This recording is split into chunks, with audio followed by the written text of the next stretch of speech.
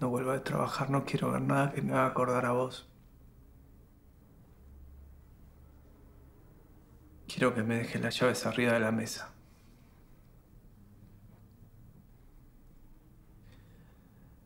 Agarres todas tus cosas y te vayas a la mierda.